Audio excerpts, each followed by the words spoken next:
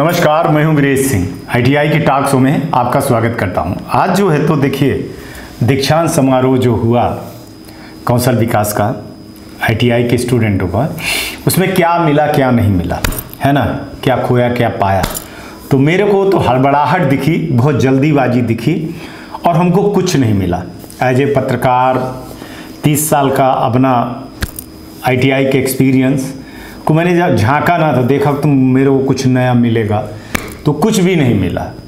बस वही एक गुणगान गाते रहे अपने पोर्टल को लेकर के कि जो एन सी ने बनाया, हमने बहुत अच्छा किया। एक एआई कोर्स लॉन्च कर दिए, उसके बारे में बात किए। बाकी कुछ ऐसा नहीं लगा, है ना?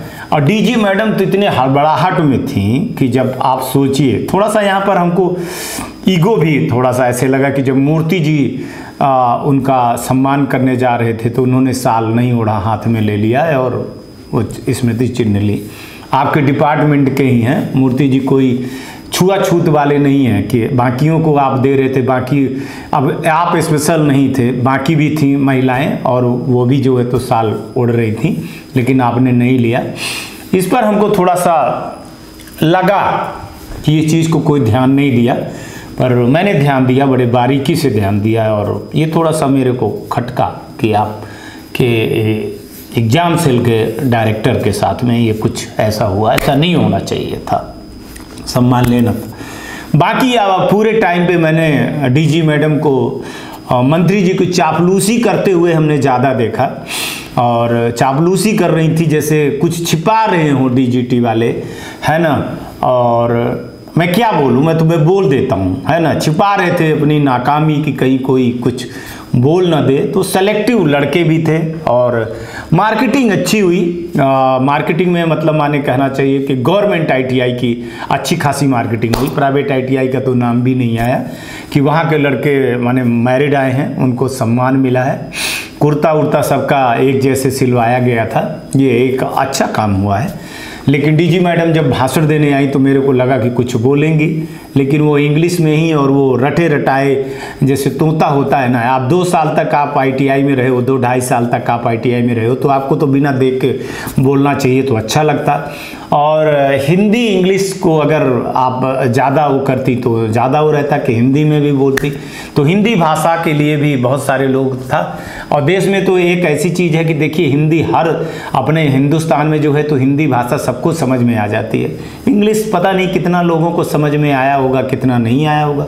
अब ये ना कोई कह दे कि ये हिंदी भाषा प्रदेश का है तो इस पर मुद्दा उठा रहा है। मुद्दा हाँ फिर हाँ उठेगा ही कि भाई ये अब दसवीं पास और आठवीं पास लड़के हैं, इनको क्या ही समझ में आया होगा भगवान ही जाने कि इंग्लिश में रटा रटाया हुआ प्रोफेशनल इंग्लिश की तरह पढ़ करके पन्ना पलटा दिए और इसको दीक्षांत समारोह कहते हैं। और इसी को मैंने सोचा कि अतुल तिवारी जी कुछ बोलेंगे, वो भी अपने कार्यकाल की और इनकी सभी की बड़ाई करते रहे। तो क्या ये सब चीज़ें धरातल पर सही हुई थी? एक चीज़ मेरे को बहुत अखरा कि जो लेफ़्ट ओवर वाले लड़के थे, अगर आप जैसे सत्रह सितंबर किए रहते हैं, विश्वकर्मा जयंती पर किए होगा, जब आपने एक महीने से ऊपर लेट किया करीबन पंद्रह तारीख को रिज़ल्ट आ गया था तो पंद्रह दिन ये और आज छब्बीस तारीख ये। आपने एक डेढ़ महीने पूरा आ, आ, जो टाइम लिया ये कार्यक्रम करने के लिए तो फिर उन लड़कों का क्या? जो लड़के लेफ़्ट ओवर वाले लड़के हैं जो किसी कारण से एग्ज़ाम नहीं दे पाए थे तो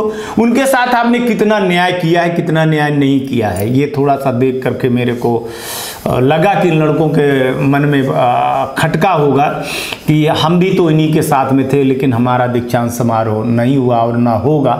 और ना अब ये टाइम आएगा, ऐसा टाइम आएगा मैरिट का। ये एक बहुत बड़ी वो थी, हम सोचे कि कुछ ऐसी चीज़ें बोली जाएँगी, लड़कों के बारे में बोले जाएँगे, नए टेक्नोलॉजी और नए नियम के बारे में बोला जाएगा एग्ज़ाम के बारे में बोला जाएगा एडमिशन के बारे में बोला जाएगा, कुछ अफिलेशन के बारे में बोला जाएगा। हालाँकि दीक्षांत समारोह है तो उसका मतलब क्या होता है डीजीटी को साल भर में एक बार मौका मिलता है अच्छा खासा मौका मिलता है।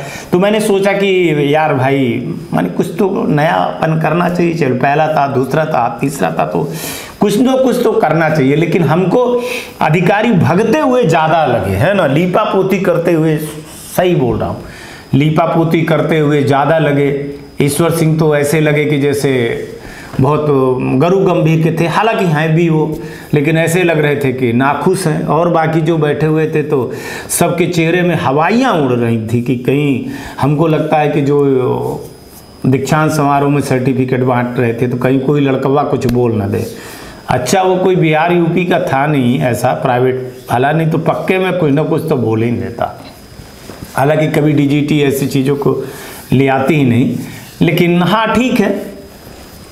इस पर मैं ज़्यादा तो यही कहूँगा कि लीपा पोती हुई है, और मंत्री जी थे। हमको लगा कि मंत्री जी भी कुछ कहेंगे, लेकिन ठीक है, युवा मंत्री हैं, पढ़े लिखे हैं। अभी पहले पहली बार बने हैं तो ठीक है उनको जो कहना था, वो कहें। हाँ एक लड़की थी जो एनएसडीसी की, वो थी बैंड एम्बेसडर थी। उसने कुछ ऐसी चीज़ें बताई कि मंत्री जी को भी रोना आ गया था और सच बताऊँ, मेरे को भी रोना आ गया था, है ना? अब ये सब चीज़ें आपने देखा है तो मैं नहीं दिखाऊँगा क्योंकि इसलिए नहीं दिखाऊँगा कि दिखाना चाहिए कि नहीं दिखाना चाहिए इन सब चीज़ों को? मैं तो सिर्फ़ इतना ही दिखा कि एनालिसिस जो करना था मेरे को कि क्या खोया और क्या पाया तो भाग न पहुँचे, लब्धे सुन न पाया। प्राइवेट आईटीआई वालों का तो कहीं पे ज़िक्र ही नहीं, ना उनके यहाँ के लड़कों का ज़िक्र है। एक चीज़ बता दूँ कि ये पीडीएफ और यूट्यूबर की पढ़ाई ज़बरदस्त फेल हुई है है ना? इनके आप सोचिए कि सब कहते हैं तो इनके लड़के कभी क्या मैरिड आए हैं? क्या टॉप पे आए हैं? ये एक बड़ी सीख मिली है लड़कों को कि आप सोच लीजिए कि आप टॉपर नहीं हैं, है ना? आप स्किल नहीं आप देखिए कि सबसे ज़्यादा उड़ीसा, वेस्ट बंगाल के लड़के जो है तो गवर्नमेंट आईटीआई के लड़के पढ़े लिखे और वहाँ एजुकेशन कि कितने आगे हैं और आप कितने आगे हो? ये हिंदी भाषा वाले कितने आगे अब यहाँ पर ये सब भाषा नहीं, पर मैं कहूँ कि आप देख लीजिए कि क्या है। वहाँ वो यूट्यूब से नहीं पढ़ते हैं, पीडीएफ से नहीं पढ़ते हैं, है ना? मैंने पता लगाया, बिल्कुल वहाँ के अधिकारियों से मैंने पता लगाया, प्रॉपर स्कूलें चलती हैं, कॉलेज चलते हैं, सब कुछ चीज़ें होती हैं, है ना? तो ये मिथ्या है और इस पर जितना जल्दी आईटीआई वाले अपने आप में लगाम लगा लें, स्टूडेंट अपने आप में लगाम लगा लें कि बेहतर आईटीआई के लिए बेहतर चीज़ जाए। हमने सोचा कुछ जॉब क्रिएट के लिए चीज़ें होंगी कुछ नए कोर्सेस के लिए होंगे, कुछ नए नियम के लिए भी होंगे, कुछ घोषणाएँ होंगी। हो सकता है कि भाई दो तीन बार हो गया तो अब धीरे धीरे साल में तो एक प्रोग्राम बनता है, दीक्षांत समारोह का में तो आप लोग कुछ बोलेंगे? अब क्यों नहीं बोले हैं? हड़बड़ाहट ज़्यादा दिखी हमको। ऐसा लगा कि जैसे कुछ बड़ी चीज़ डी छुपा रही थी, है ना?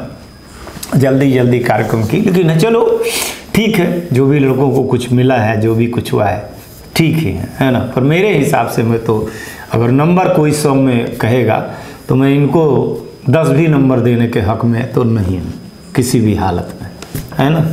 दस भी नंबर मैं नहीं दे सकता हूँ सौ में। ये सिर्फ़ एक लीपा पोती है, आपने जल्दीबाजी में किया है, बहुत कुछ छुपाया है, और लेफ़्ट भर वाले लड़कों के साथ में आपने नहीं किया। पर चलिए, ठीक है। अब भैया, अब ये बहाना जो महीने भर से तैयारी हो रही थी तो अब बहाना हट जाएगा।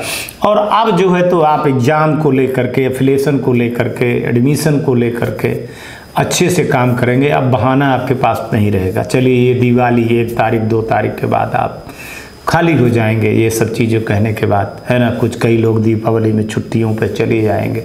तो अब प्रॉपर जो है तो काम होने लगेगा। ठीक है, चलिए, आज तक के लिए इतना ही। कल आएँगे तो फिर किसी नए मुद्दे पर बात करेंगे। नमस्कार, जय हिंद। जय भारत।